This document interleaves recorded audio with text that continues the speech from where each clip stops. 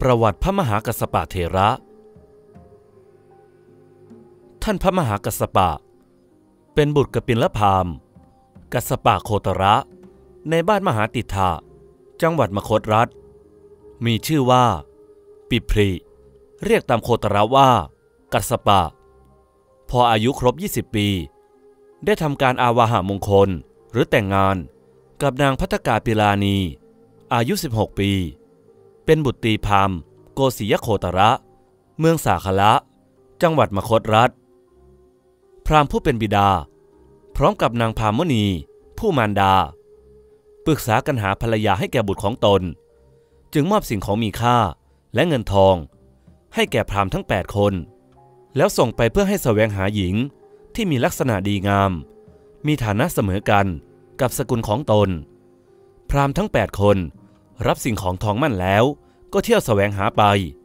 จนกระทั่งถึงเมืองสาคระ ในพระนครนั้นมีธิดาของพราหมณ์กศิยโคตระคนหนึ่ง ชื่อว่า พัทกาปิลานี อายุ 16 ปี รูปร่างสะสวยงดงาม สมกับเป็นผู้มีบุญ พราหมณ์เหล่านั้นครั้นได้เห็นแล้ว จึงเข้าไปสู่ขอกับบิดามารดาของนาง เพื่อตกลงกันแล้ว จึงมอบสิ่งของทองมั่นกำหนดวันอาวาหามงคล และส่งข่าวให้กบิลพามได้ทราบ ส่วนปีพริมานพเมื่อได้ทราบดังนั้น ไม่ได้มีความประสงค์ที่จะแต่งงานเลย จึงเข้าไปในห้อง เขียนจดหมายบอกความประสงค์ของตนให้นางทราบ นางผู้เจริญจงได้สามีที่มีชาติและโคตระโภคสมบัติเสมอกับนาง อยู่ครอบครองเรือนเป็นสุขเถิด ฉันจักออกบวช ต่อไปในภายหลัง นางจะได้ไม่ต้องเดือดร้อน ครั้นเขียนเสร็จแล้ว มอบให้คนใช้นำไปส่ง แม้นางพัทริกาปิลานี มีความประสงค์เช่นเดียวกัน จึงได้เขียนจดหมายเช่นนั้น ให้คนใช้นำมา คนถือจดหมายทั้งสอง มาพบกันระหว่างทาง ต่างแต่ถามความประสงค์ของกันและกัน และจึงฉีกจดหมายนั้นออกอ่าน แล้วทิ้งจดหมายฉบับนั้นเสียในป่า เขียนจดหมายมีเนื้อความแสดงความรักซึ่งกันและกันขึ้นมาใหม่ แล้วนำไปให้คนทั้งสอง ขั้นการต่อมา การอาวาหามงคลเป็นการสำเร็จเรียบร้อย คนทั้งสอง ไม่ได้มีความประสงค์ สักแต่ว่าอยู่ร่วมกันเท่านั้น ไม่ได้ถูกต้องกันเลย แม้จะขึ้นสู่เตียงนอนก็ไม่ได้ขึ้นทางเดียวกัน ปิพริมานพขึ้นทางขวา นางพัทลิกาปิลานีขึ้นทางซ้าย เมื่อเวลานอนตั้งพวงดอกไม้สองพวงไว้กลางที่นอน เพราะกลัวร่างจะถูกต้องกัน ถึงกลางวัน ก็ไม่ได้มีการหัวเราะยิ้มต่อกันเลย เพราะฉะนั้นจึงไม่มีบุตรธิดาด้วยกัน สกุลของสามีภรรยาคู่นี้มั่งมีมาก มีการงานเป็นบ่อกเกิดแห่งทรัพย์มาก มีคนงานและพาหนะสำหรับใช้งานก็มาก ครั้นต่อมา บิดามารดาเสียชีวิต ปิพริมานพได้ครองสมบัติ ดูแลการงานสืบทอดจากบิดามารดา สามีและภรรยาก็ต่างมีความเห็นร่วมกันว่า ผู้อยู่ครองเรือน ต้องคอยนั่งรับบาป เพราะการงานที่ผู้อื่นทำไม่ดี จึงมีใจเบื่อหน่าย พร้อมใจกันจะออกบวช ได้แสวงหาภาคกาสยะ ถือเพศเป็นบรรพชิต ออกบวชมุ่งหมายเป็นพระอรหันต์ในโลกสะพายบาทลงจากปราสาท และหลีกหนีไป ปิพรีมานพเดินหน้า นางพัตกาปิลานีเดินหลัง พอถึงทางแยกแห่งหนึ่งจึงแยกจากกัน ปิพรี ได้เดินไปทางขวา ส่วนนางพัทริกาเดินไปทางซ้าย จนบรรลุถึงสำนักของนางภิกษุณี ภายหลังได้บวชเป็นนางภิกษุณี และได้บรรลุเป็นพระอรหัตผล ส่วนปิพริมานพเดินทางไปพบพระบรมศาสดา ซึ่งประทับอยู่ใต้ร่มไทรซึ่งเรียกว่าพระหูปุตตนิโคตในระหว่างกรุงราชคฤห์และเมืองลานันทาต่อกัน มีความเลื่อมใส เป่งวาจาประกาศว่า พระศาสดาเป็นครูของตน ตนเป็นสาวกของพระศาสดา พระศาสดาทรงอนุญาตให้เป็นพระภิกษุ ในพระธรรมวินัยนี้ด้วยการประทานโอวาทสามข้อ 1. กัสปะ เธอพึงศึกษาว่า เราจะเข้าไปตั้งความละอายและความเกรงใจ ไว้ในภิกษุที่เป็นผู้เท่าและปรานกลางอย่างดีที่สุด 2. เราจักฟังธรรมซึ่งประกอบด้วยกุศล เราจักตั้งใจฟังธรรมนั้น แล้วพิจารณาเนื้อความ 3. เราจักไม่ละสติ ที่เป็นไปในกาย คือพิจารณาเอาร่างกายเป็นอารมณ์ ครั้นประทานโอวาทแก่พระมหากัสสปะอย่างนี้แล้ว เสด็จหลีกหนีไป ท่านพระกัสสปะได้ฟังพุทธโอวาทแล้ว ก็เริ่มบำเพ็ญเพียร ในวันที่ 8 นับจากวันที่ได้อุปสมบทมา ก็ได้สำเร็จเป็นพระอรหัตผล ตามปกติ ท่านพระมหากัสปะนั้น ถือธุดงค์สามข้อ คือถือทรงผ้าบางสกุลจีวรเป็นวัด ถือเที่ยวบิณฑบาตเป็นวัด และถืออยู่ป่าเป็นวัด ด้วยเหตุนั้น พระบรมศาสดาจึงยกย่องว่า เป็นผู้เลิศกว่าภิกษุทั้งหลาย ผู้ทรงธุดงค์อานิสงส์แห่งการถือธุดงค์ของท่าน มีปรากฏดังนี้ คือสมัยหนึ่ง พระบรมศาสดา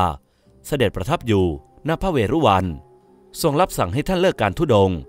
ท่านไม่ยอมเลิก แล้วแสวงคุณแห่งการถือธุดงสองประการคือ 1. เป็นการอยู่เป็นสุขในบัดนี้ 2. เพื่ออนุเคราะห์ ประชุมชนในภายหลังจกได้ถือเป็นทิฏฐานุคติ คือปฏิบัติตาม พระบรมศาสดาก็ประทานสาธุการว่า ดีละดีละ เธอปฏิบัติเพื่อประโยชน์สุข แก่ชนส่วนมาก เธอจงส่งผ้าบางสกุลจีวร เธอจงเที่ยวบินทบาท เธอจงอยู่ในป่าเถิด ทรงสรรเสริญว่าเป็นผู้มักน้อยสันโดษ พระภิกษุทั้งหลายเรียกท่านว่า พระมหากัสสปะ นอกจากนี้ท่านยังมีคุณความดี มีพระบรมศาสดาทรงยกย่องหลายสถาน เช่น 1. ทรงรับผ้าสังฆาติของท่านไปทรงหม่ม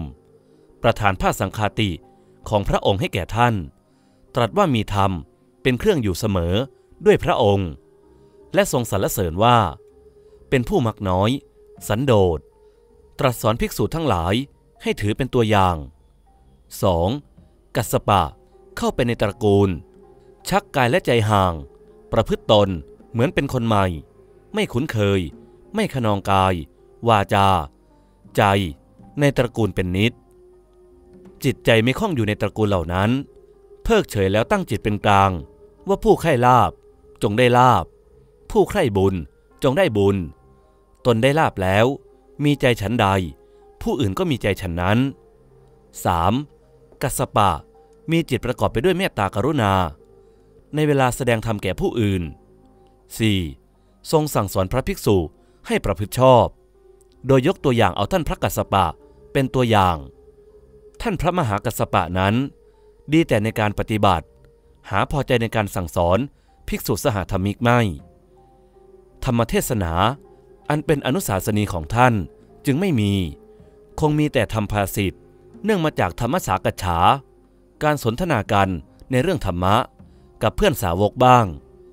กล่าวทบทวนพระพุทธดำรัสบ้าง ในขณะพระบรมศาสดายังพระชนอยู่ ดูท่านจะไม่เด่นนัก เป็นเพียงพระสาวกผู้ใหญ่รูปหนึ่งเท่านั้น มาปรากฏเป็นพระสาวก